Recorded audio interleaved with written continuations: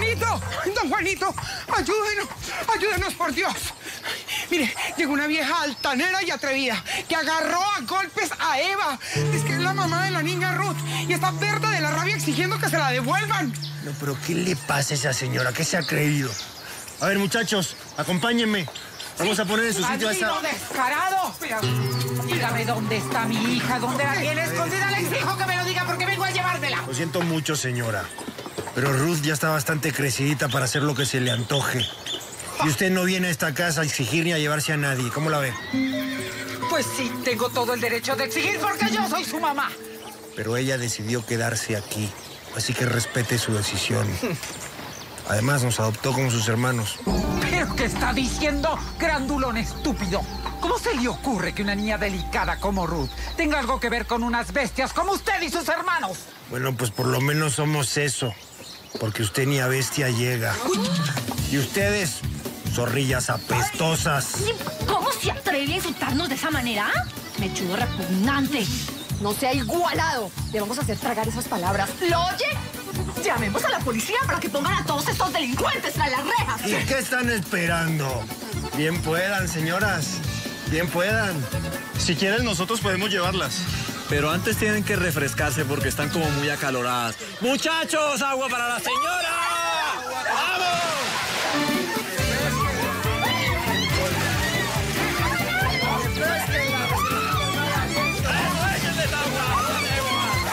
Agarren a estas brujas y llévenlas a la camioneta.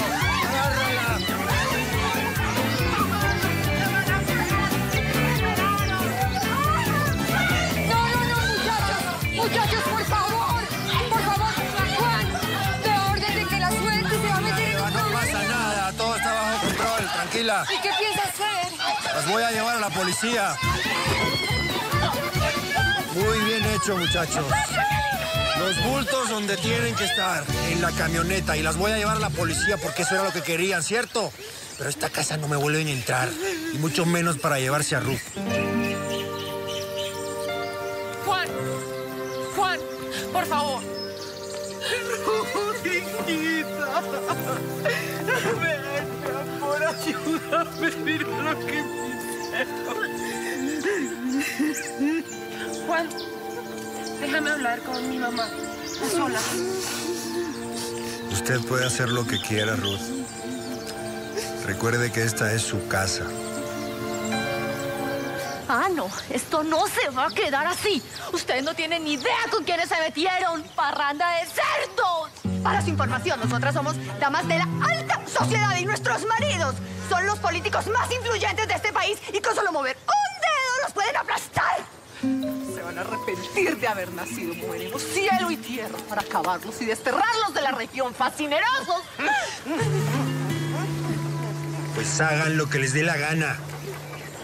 Pero claro, si es que sus maridos son hombres de verdad, entonces en vez de escuchar sus cacareos, deberían castigarlas y caerles a nalgadas por andar metiendo sus narices donde no les importa, chismosas, viejas burracas. A ver qué pasa aquí. Bueno, ¿por qué le hiciste a estas señoras, eh? Se ven re feas, parecen gallina con moquillo, hombre. No les hicimos nada que no se merezcan.